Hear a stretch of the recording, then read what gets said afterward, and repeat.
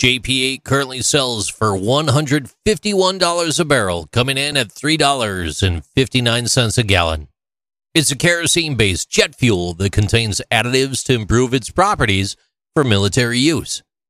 It's used in military aircraft with the exception of aircraft on naval carriers where JP5 is required. JP5 is also a fuel derived from kerosene, but it has a higher flash point than JP8. This is the key feature that makes it appropriate for use in planes loaded on aircraft carriers in which the risk of fire is greater. JP 8 was first introduced at NATO bases in 1978. Its NATO code is F 34. It's currently projected to remain in use at least until 2025.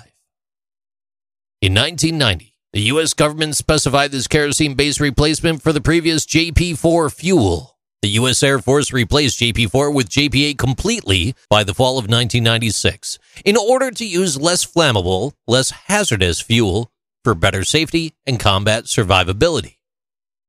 JP8 contains less benzene and less N-hexane than JP4, but it smells much stronger than JP4 and it has a very oily feel, while JP4 feels more like solvent.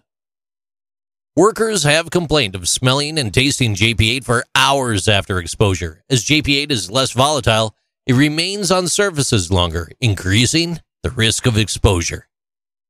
Interestingly, JP8 is also considered a universal fuel that can be used in both turbine powered aircraft and diesel powered ground vehicles, or as a fuel for heaters, stoves, tanks, and serves as a coolant in engines and aircraft components. JP8 is close enough to regular diesel to be suitable for use as diesel. People have reported using this jet fuel in farm equipment and get about 5% less power and 5% more fuel consumption across engines. No modification is required to use JP8 in diesel engines. The fuel is designed to operate jet engines and diesel engines alike. SAE, a global association of more than 128,000 engineers and related technical experts in the aerospace, automotive, and commercial vehicle industries, conducted a survey on the use of JP8 in diesel engines. They concluded that torque and horsepower of diesel fuel can be matched with fuel economy penalty lower than 4.5%, simply by increasing the volumetric fuel quantity to compensate for the lower density of JP8 fuel.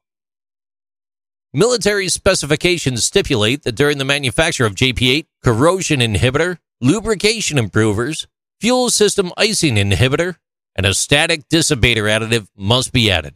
JP8 may also contain an antioxidant or metal deactivator additive, but this is only with the express written authorization from the purchaser as a requirement. It should be noted that studies of military personnel suggest that exposure to JP8 may actually affect the human nervous system.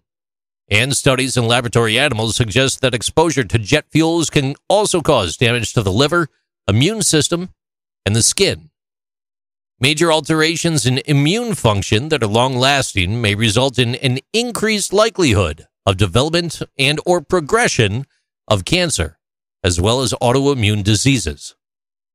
For the sake of comparison, diesel fuel is a skin and eye irritant as well, and it can cause rashes and reactions when exposed to human skin. Long term exposure to diesel fuel is also connected to skin cancer and disorders within the central nervous system. It'll be interesting to see if JP8 becomes more widely used as the price of diesel fuel begins to inch closer to $10 a gallon. These are interesting things with JC.